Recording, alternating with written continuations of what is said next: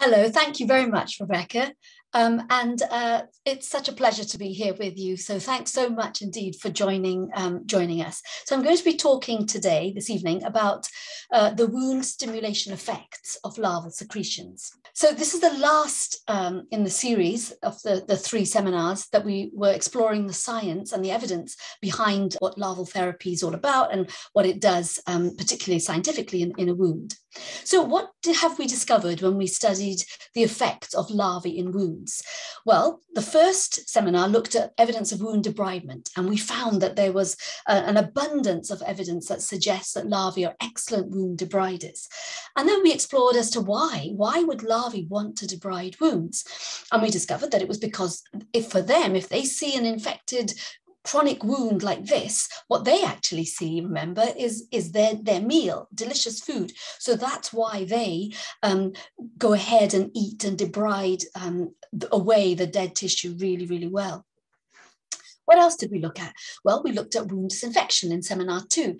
And there we also discovered that maggots have a superb ability to kill any bacterial pathogens that they find themselves in the vicinity of within the wound. And we asked why would maggots want to do that.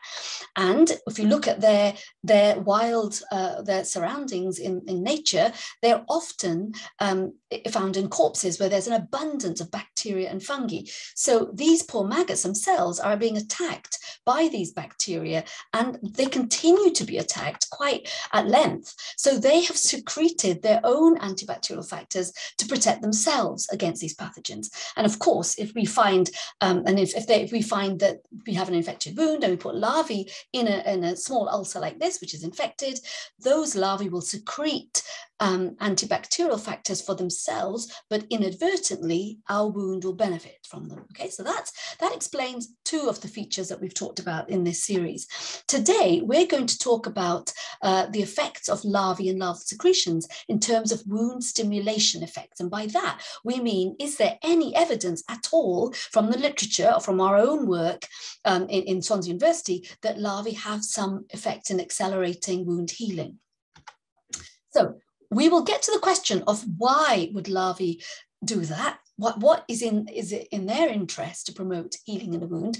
Right at the very end. But before we discuss that i want to explain to you a little bit about and discuss with you the clinical and scientific evidence that we have for wound stimulation effects um, with larvae and larval secretions so in order to do that, I'd like to very, very quickly look at the physiology of wound healing. How do wounds heal? And, and I've kept this incredibly simple and basic. We know that there are three main phases of wound healing. There's an inflammatory phase, which is the very first phase, and then a proliferative phase. And then the third and final phase is that of the maturation or remodeling of the tissue, the new tissue that's been formed, the healed tissue. So the first phase, the inflammatory phase, is by far um, the, the, the largest in the sense that it's the wound is still very big at this stage. Um, and what happens here is that um, a process called inflammation occurs which i think you all know about. Um, the whole idea of inflammation is to allow white blood cells which are the leukocytes to come into that wound and, and mainly the phagocytes which will destroy the, the, the, non-viable tissue. And these cells are known as the neutrophils and the macrophages. Um, and they really are, are arriving at the wound site to destroy any bacteria that are there any pathogens that are there and to clear away non-viable tissue and any wound debris that happens to be there. Following that, we get the next phase, which is the proliferative phase. Now, this phase is really, really important. What happens in the proliferative phase? Well, in this phase, really good cells called fibroblasts, which are very, very important healing cells, begin to proliferate, increase in number, and migrate into the wound bed. The fibroblasts are stimulated to do this migration and proliferation by a series of chemical activators and messengers, which are released also at this time, and they are known as cytokines. And they're actually released by the cells that came into the inflammatory phase. Now, remember that when you see a chronic wound and it's stalled, it's not healing, it's stuck and it's stuck in the inflammatory phase. Um, and it can't progress to the proliferative phase unless the debris is gone, the non viable tissue has been debrided, and there is no infection. That's critical. Okay, so all these things are happening, but fibroblasts can only come into the wound bed once the, the, um, the pathogens and the debris has, has been cleared. Why do the fibroblasts need to migrate into the wound bed? Well, they are the things that are going to synthesize new extracellular matrix, new tissue, and that is new elastin and new collagen. And that's what you want to happen uh, if you want a wound to heal, right? So all these things have to go ahead for a wound to heal. The fibroblasts themselves secrete their own factors, their own cytokines, and some of these are known as the wound growth factors. And you must have heard of some of these things like platelet derived growth factor and tissue growth factor. So these are really, really important molecules that need to activate the wound to heal. Okay, and some of these are secreted by the fibroblasts themselves. So these cytokines that the fibroblasts secrete allow other vital cells to proliferate. And some of these include the endothelial cells. And we'll talk a bit more about these later. But these endothelial cells are going to give rise to new blood vessels. And why do we need that to happen? Well, when you've got new tissue being formed, that requires oxygen. The growth of new tissue requires oxygen. So, in order for that to happen, you need the development of new blood capillaries. And that process is known as angiogenesis. That's got to happen for a wound to heal. And all that together is known as granulation tissue. And that, as you all know, is the sign that a wound is healing and you're looking for the development of healthy granulation tissue when you're looking to, to, to see whether a wound has actually begun to heal or not. Ultimately, in this phase, the wound will begin to develop new epithelium tissue. That's your epidermis on top, epidermis on top of the, the, the wound. So it's new, healthy uh, first layer of the skin. And the, the wound will also shrink in size. Okay, so all this goes on in phase two two, the proliferative phase. And then your final phase, um, which is remodeling, is when you've got freshly healed skin, freshly healed dermis. And in, in this phase, eh, you, you can it can go on up to years because it's it's basically where the collagen that was laid down to begin with, which was type 3, is a bit weak. That needs to be remodeled and cross-linked and get stronger and stronger. And that will become your final um, stronger type collagen. And the wound might contract a bit further. And that will be your maturation phase. Okay, so that in a nutshell is wound healing, is how wounds heal. Now, the key points to take away from this, ones that I'm going to refer to in terms of the evidence that we have for the action of larval secretions, are, are these. Remember, phagocytes arrive. The neutrophils and macrophages have to get there to start the process of clearing that wound bed. Secondly, we said that fibroblasts, these really good cells, need to migrate into the wound bed and they need to proliferate. They need to increase in number. Then you get the release of these growth factors and cytokines, which do many things, but they also, they, they, one of the things they do is to stimulate the vital blood vessel cells, for example, to proliferate. And that is known as angiogenesis and results in the growth of new tissue. Um, so you've got, sorry, it results in the growth of new blood capillaries, so you can enable the growth of new tissue. So th those are the key points to remember, and we'll come back to those in a minute. Okay, excuse me. So what do we know about the role of larvae in stimulating wounds, in, in accelerating or promoting the, the, the, these healing effects of wounds? Well, for years, uh, there have been zillions of anecdotal reports where clinicians who have put maggots on wounds looked at the wound and, and when they removed the maggots, they thought, wow, this is amazing. This is the granulation tissue has, has, has, has emerged really, really fast. And, and I'm convinced that that wound is healing faster than it would have compared to non-maggot treated wounds. And that's anecdotal. And I've heard loads of reports from nurses and clinicians and, and medics who've said, you know, I don't know what that's going on, but something really is happening. And it hasn't been until very recently that this aspect of maggot therapy, the healing aspect or the stimulation aspect, has been investigated. And it's been investigated clinically and scientifically. Um, of course, the, the evidence that we now have that does support maggot-induced wound stimulation comes from numerous sources, the controlled trials, clinical studies, um, scientific laboratory investigations, and case studies. And we're going to talk about all of those um, briefly um, uh, this evening.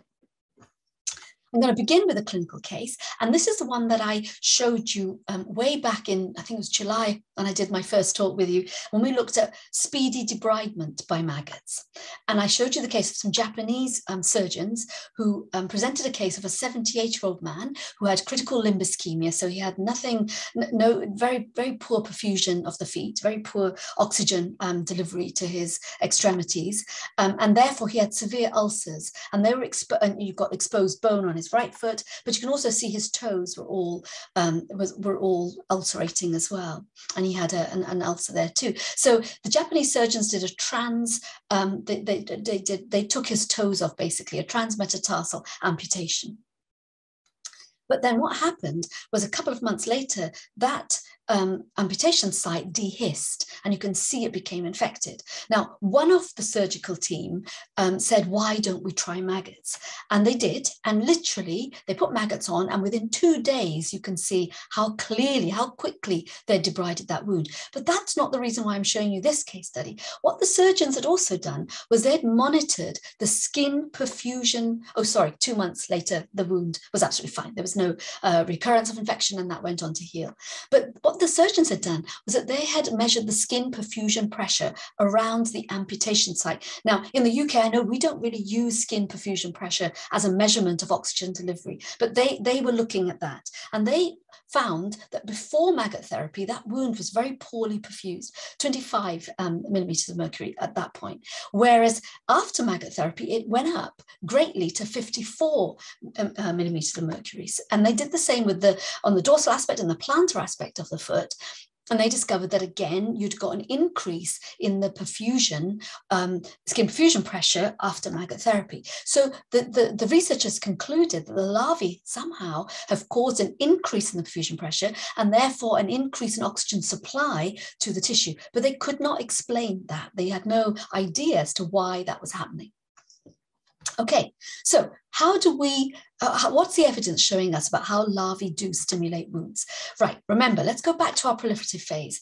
You've got to, when you've got a wound that's healing, like, like this, this hand wound is healing really nicely here, you know that once the necrotic and infected tissue has gone, that wound can now progress to phase two, to its proliferative phase. And here we know that granulation occurs. Look at this lovely granulation tissue that's occurring here. You can also see the really nice pink um, epithelial tissue, the new uh, the new epidermis forming, and that's going to migrate in as well. So this is going on. This is new tissue being laid down. And for that to happen, we said that fibroblasts need to migrate inwards and they generate and they assemble the collagen and the elastin. That's what these cells look like. This is one fibroblast cell here, okay? So they're really long, stretchy, quite cute looking cells. They're the cells that have got to migrate into the wound bed. What do we know about maggots and maggot secretions? Do they have any effect on fibroblasts and therefore wound stimulation? Well, yes. So researchers have shown, in 2015, researchers showed that if you added the salivary gland extract of maggots uh, onto fibroblasts, they massively increased the number. So you got this brilliant fibroblast proliferation going on.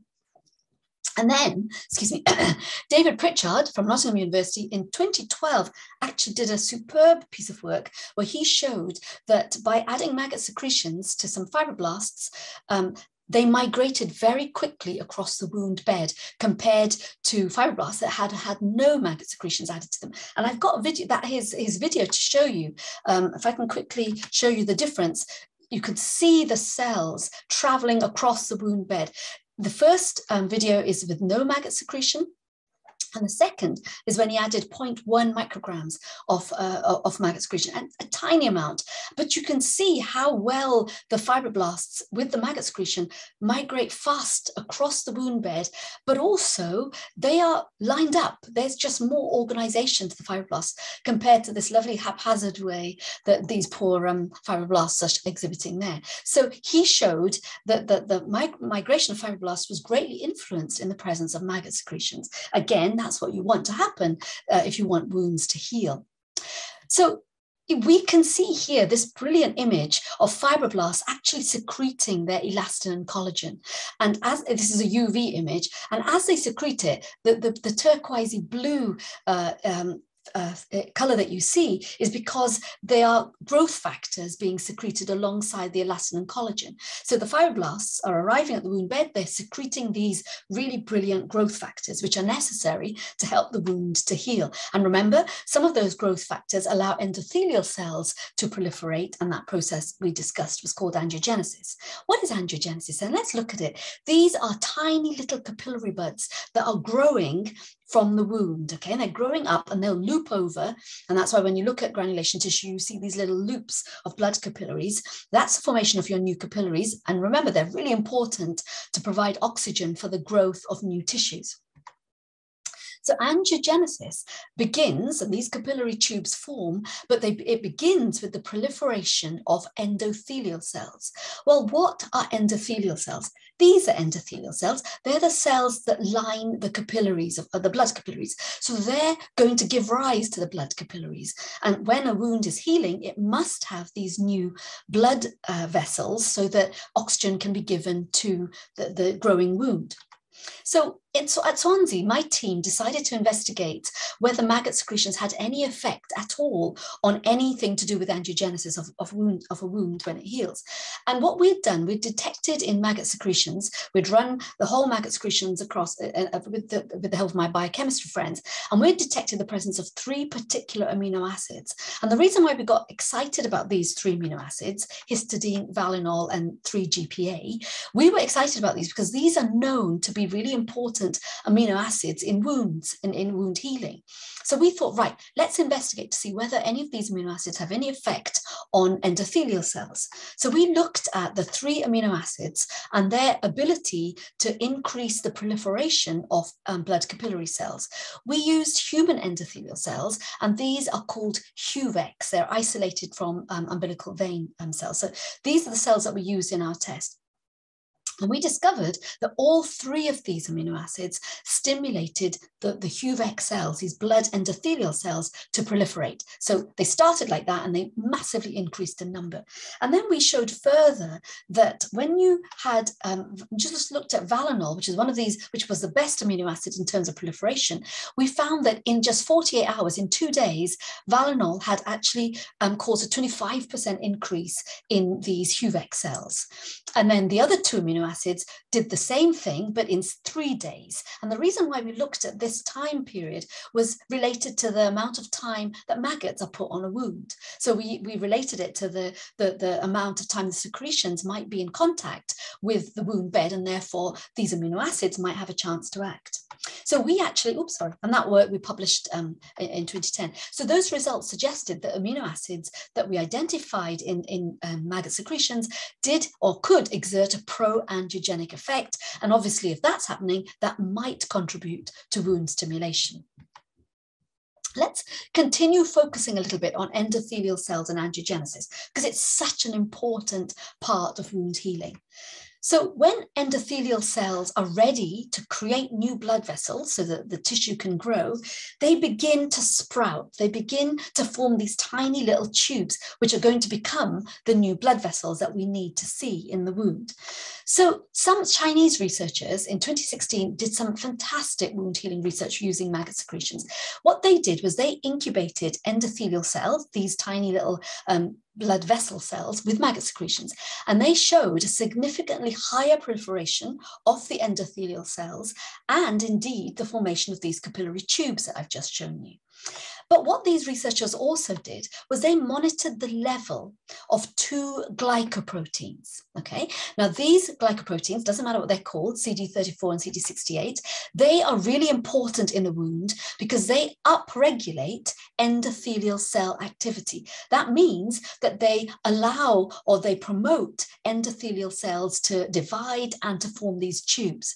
And therefore, they're considered really important markers of angiogenesis. Okay, so monitoring these two levels of glycoprotein, they found that patients who had had maggot therapy in their tissue, which they looked at histologically, they, they found increased levels of these glycoproteins compared to before maggot therapy. And they just they, they, they uh, uh, concluded that these raised levels enabled better endothelial cell activity and therefore promoted angiogenesis okay? So Um, again, you must go to these papers and have a look at them if you want to further investigate how that work was done. So I'm going to carry on by talking about endothelial cell activity by looking at something called microRNAs. Now, please don't get too confused and bogged down by it. I'm going to try and explain it really simply. So what are microRNAs and what is their role in wound healing? And then how, how do maggots influence that? Well, a microRNA is a tiny little molecule, very small. Don't worry about the fact that it's a non-coding RNA molecule. Basically, it functions in the regulation of gene expression in, in, wound, uh, uh, in many many aspects of wound repair. This is what it looks like, all right? Doesn't really matter what it looks like. So basically what I'm saying is microRNAs circulate in the blood and we now know they've emerged as very important regulators in many physiological processes, including wound healing. Normally, if you've got a diabetic foot ulcer and you've got this chronic ulcer, chronic wound, you have impaired angiogenesis. It's one of the main features and the main factors that affects your healing of that wound. Okay, so some a, a, group in 2017 decided to look at microRNA molecule, a particular one called MIR126, which th they knew and we know is expressed by endothelial cells, which are is responsible for angiogenesis. So responsible for many, many functions. So this little molecule was what they decided to look at. All right. Now, we know, remember, that low levels of this molecule are associated with poor angiogenesis and, and vascular disease as a result of poor angiogenesis.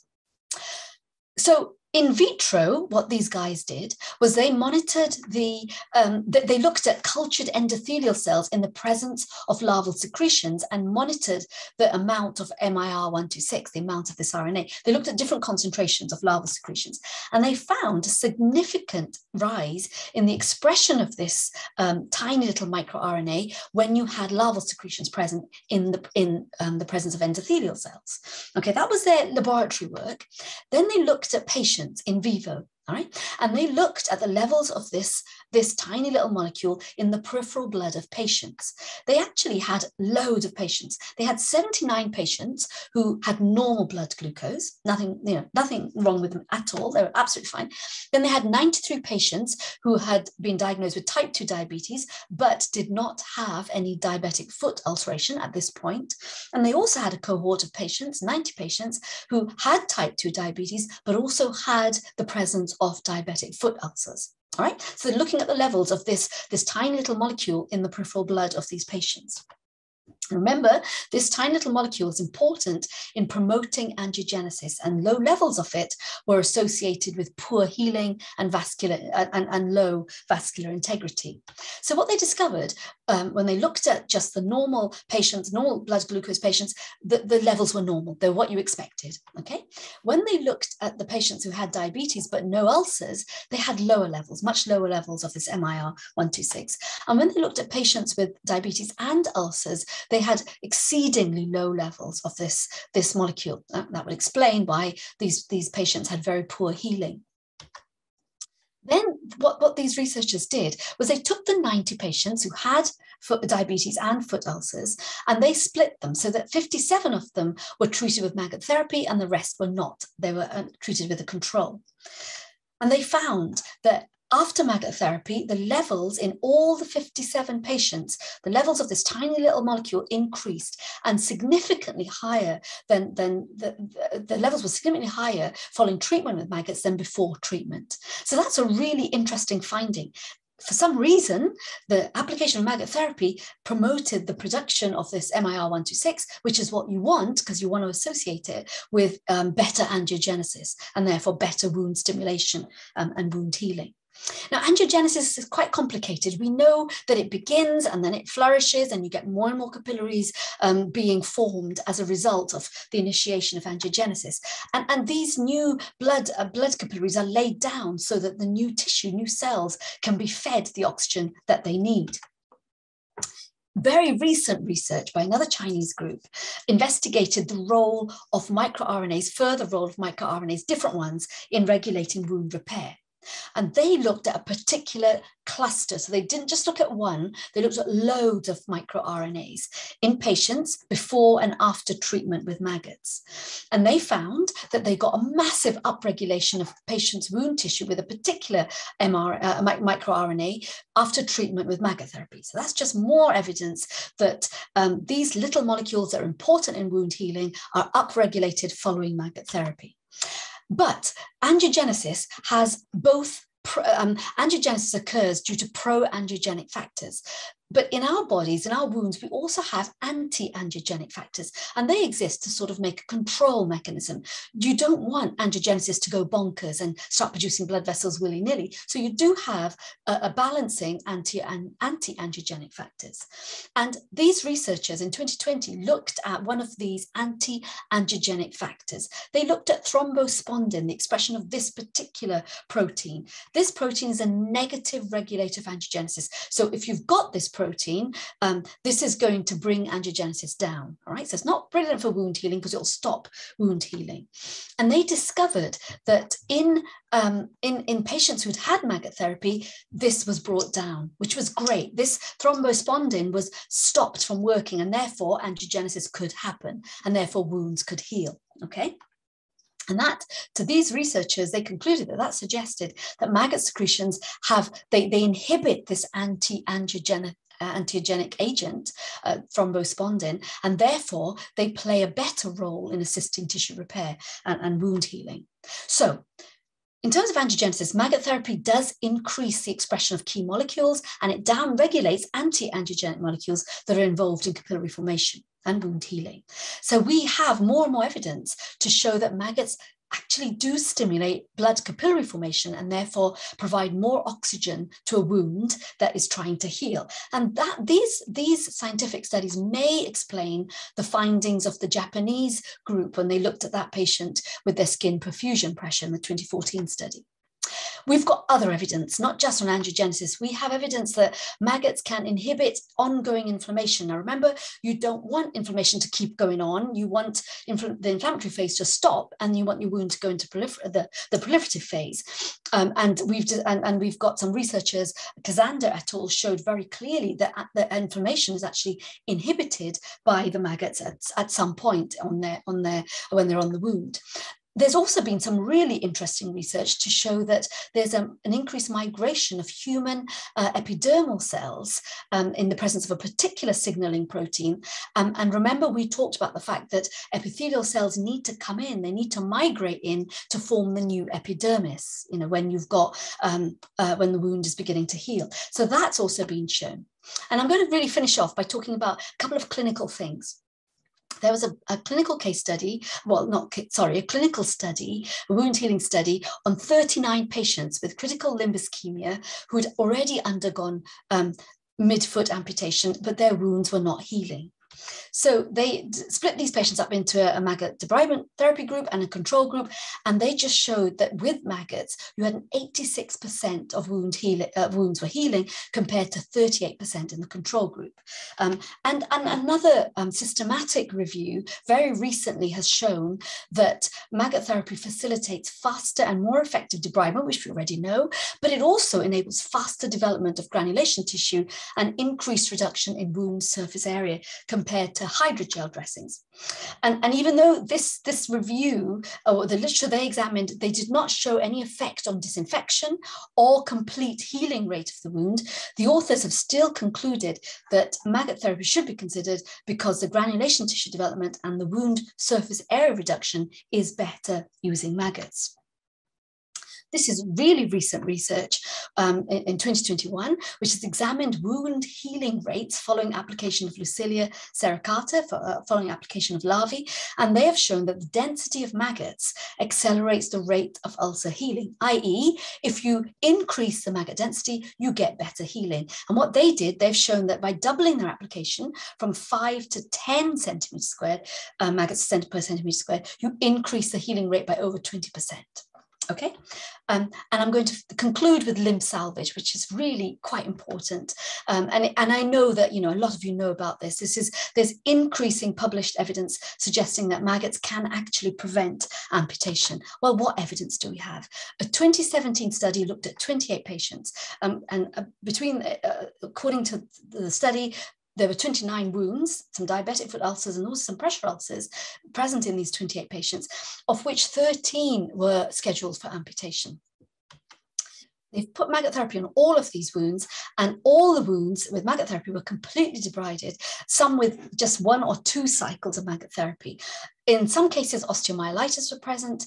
Um, well, in fact, in all cases, they, they, said, if you look at this paper, you'll see what, what they stated about osteomyelitis, but that was eradicated and that didn't reoccur three years post follow up. And more importantly, all those limbs that were scheduled for amputation were saved. Okay, um, I'm going to talk to you about two case studies now, which reflect this really nicely. This is a case of an elderly, uh, well, police officer actually, he wasn't quite elderly. He was he was doing um, um, a shift in Bridgend, and he was attacked by a group of youths, and he was kicked repeatedly in the knees, um, with the, to, and the result that both his knees were shattered and needed replacing.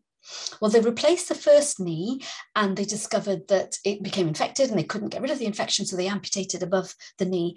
This was his second knee replacement surgery. And you can see again that the wound was infected and that again was scheduled for an above knee amputation. Someone in the team suggested trying maggots. And the, the, the, police officer agreed and they put larvae on. They put them on free range. You can see them there on the wound, um, on the on the, the cap, necrotic cap of the wound. And here's the prosthesis. You can see the larvae working their way uh, on that infected wound and they cleared it and they cleared it completely to the point where that leg was um, saved that leg went on to heal and that knee was was completely saved from amputation then we have a case history of another uh, fellow. Um, this was uh, a case history presented by some Dutch surgeons. They talked about the case of a 16 year old male patient who was admitted to intensive care. He had meningitis, he developed meningococcal sepsis. He survived the acute episode of sepsis, but he developed infectious necrosis of the extremities of his hands and feet. And we're just going to look at one of his hands. And there you can see the necrotic um, the, uh, infection that's, that's set into his, his hand following meningitis. They, the, the, surgeons did a partial amputation of some of his fingers and, and his thumb, and um, they found at that point when they saw there was staph aureus, there was great infection going on. They started massive treatment with uh, anti intravenous antibiotics, but you still had a, a, um, a, an infection in that patient. So at that point, they put sterile maggots on, biobags, onto the wounds. And you can see the biobags here onto the, the, the, the, the hand. Within three days, the patient's clinical situation had improved substantially and the fever subsided. They repeated maggot therapy, the wounds showed significant improvement, granulating tissue had begun to grow, and there was no further need for surgical debridement. After two months, the patient was discharged, and five month follow up. This is the situation. He could use both his hands very well, and he saved his fingers. And the, the surgeons themselves concluded that um, they would have probably done an open amputation of both extremities. They were very scared about the infection, about the progression of this, this uh, infection, and they would have um, amputated below the elbow joint. However, because they treated it with maggots, they, they, they, they prevented the need for this disabling amputation. Okay and that was done in 2002. The most recent report that I can find is 2021, January 2021. A Nigerian hospital um, in the federal state of Kano has reported that they started using maggots to help treat patients with diabetic with, with diabetes, um, uh, with chronic wounds. And in June 2020, they started it, and in six months, they've saved 30 limbs from being amputated. So you know the evidence is mounting about how brilliant these creatures are, and there, there's a link there to. Um, um, to that paper. So my final point is we know we have evidence about the fact that larvae are stimulating wounds. They can stimulate wounds to, to progress, to heal. Why? Why would maggots want to do that? There's nothing in their life cycle that would suggest the need to do that. And my answer to you is well, we're still exploring why. But I believe, and a lot of colleagues believe, that it's not a planned thing, it's an inadvertent effect. So when you put maggots in a wound, there is wound stimulation, but that's nothing to do with what the maggots have planned, okay? It's all inadvertent. And I can show you my last bit of research, which is on larval growth factors.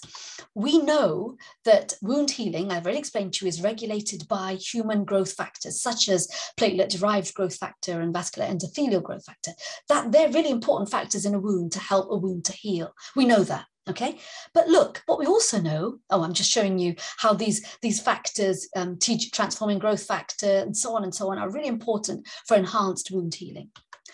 But we also know that on a wound, larvae are growing. You put your larvae on as L1, L2, they're tiny little things, they've got to grow, okay? And they grow from L1s to L3s when you take them off three days later they grow by producing their own growth factors. Okay, they produce their own hormones. That enables them to grow from L1 to L3.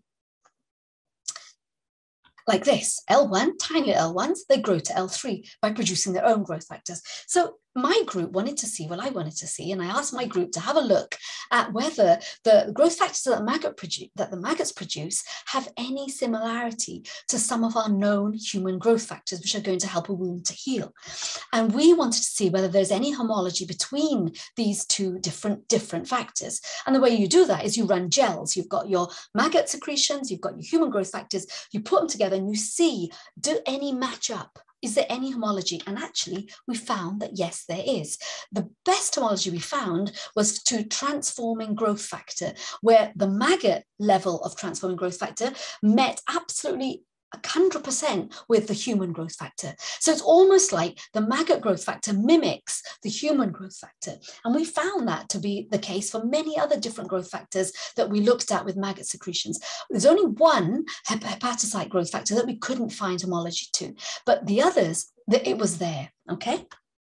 We published this work in 2019. It's early research. We have shown that insect growth factors mimic or have homology to human growth factors. And it could be that the wound is stimulated uh, and, and, accelerated to, to, heal because of these mimicky wound um, growth factors. Of course, we need to fur further undertake research to check that this actually is happening by looking at wound assays and cell migration and so on. So in summary, and I'm sorry I've taken a little bit longer, um, what is the role of larvae in wound stimulation and healing? We know we have specific factors in larval secretions that promote fibroblasts, these good cells, to proliferate and to migrate into the wound bed. We see that larvae can help to promote angiogenesis. We see that larvae can play a role in limb salvage. And we know now that growth factors are present in larval secretions, which show homology to human growth factors. I've got to thank my lab scientists in Swansea University, my maggot team. Loads of us have worked throughout the years since 2001 on these projects, um, beginning with Dr. Alison Bexfield, who was my first PhD student, who started all of this off for us. Um, and I've got to say, I've been funded by Action Medical Research, by the European Union, by the Welsh Government, by many, many different people. Thanks indeed to BioMonde for inviting me to speak at these seminars. And I just remains for me to moon you all and thank you for attending and listening to my seminars. Thank you very much.